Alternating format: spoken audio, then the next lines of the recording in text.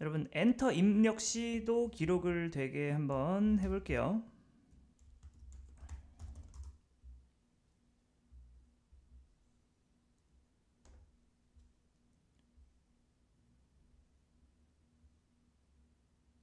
자, 포크를 눌렀습니다.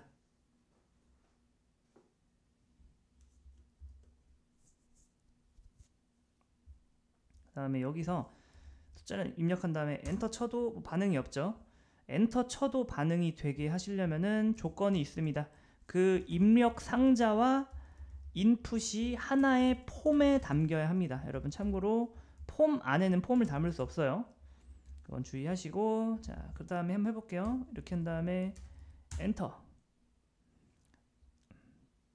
그러면 이게 발송이 돼버렸죠.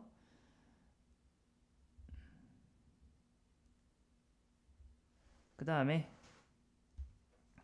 그 다음에 여기 세이브 넘버 여기 있죠? 세이브 넘버에서 제가 요걸 한번 해보겠습니다.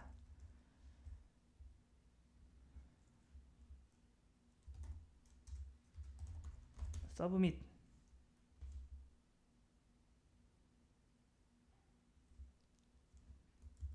그러니까 이게 뭐냐면 알려드릴게요. 잘 보세요. 네, 중요합니다. 여러분이 여기서 엔터를 뭐 입력하고서 엔터를 딱 눌러요. 엔터를 누르면은 이 폼이 발송돼 버립니다. 그냥 폼이 전송돼 버려요. 폼 전송이 돼 버리면 페이지가 이동돼 버리죠. 어, 참고로 요거는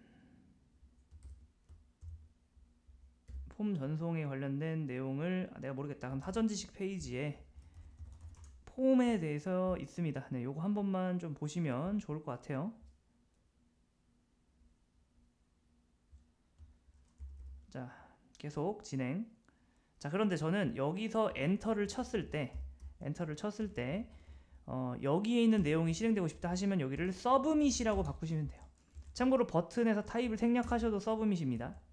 근데 이렇게 하면 뭐가 되냐? 이런 거예요. 여러분이 여기서 엔터를 칩니다. 근데 여러분 폼 안에 있는 입력 요소는 엔터를 치면은 폼을 발송하겠다는 의미가 되거든요.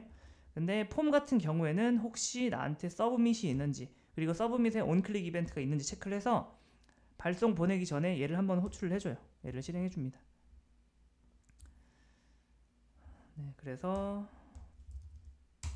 그럼 333 추가되고서 페이지 이동됐죠. 자, 페이지 이동은 막아야 될 거 아니에요.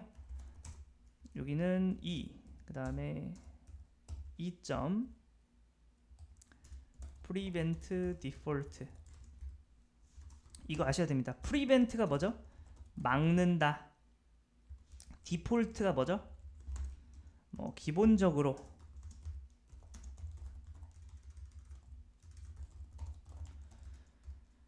어, 우리가 이제 HTML이나 이런 거를 다룰 때 기본적으로 되는 것을 막아야 될 때가 있어요. 예를 들어서 링크를 클릭한다? 그럼 당연히 기본적으로 뭐예요? 페이지 이동이 일어나죠? 이거 막는다. 가능합니다. 이것도 prevent default. 그 다음에 예를 들어서 여러분 폼 안에서 뭐예요? 전송 버튼, submit 버튼 누른다? 그럼 어떻게 돼야 돼요?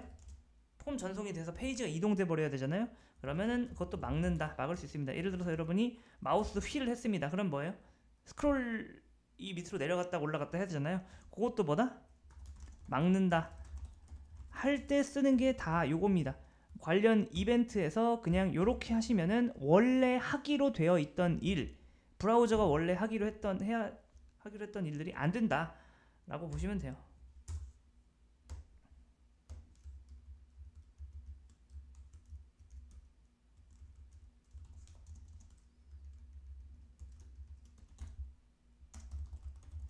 가능하고요. 그 다음에 또 뭘까요?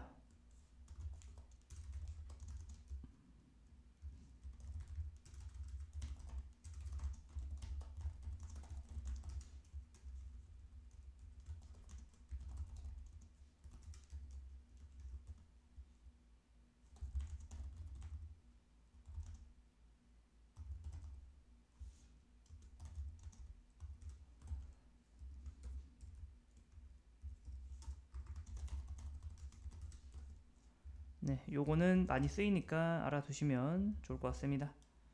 자.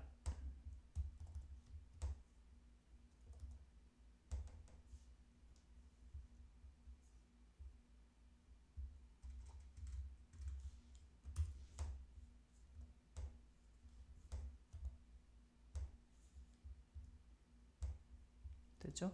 엔터 쳐도 됩니다, 이제. 엔터 쳐도 엔터 치면 무슨 일을 한다고요? 엔터 치면 이 녀석이 폼 안에 있는 녀석이기 때문에 여기서의 엔터는 뭐예요? 자신을 감싸는 폼을 발송시키려는 시도를 한다. 그러면 폼은 폼 나름대로 발송되기 전에 혹시나 submit 버튼이 있는지 찾아본다. 근데 있네요.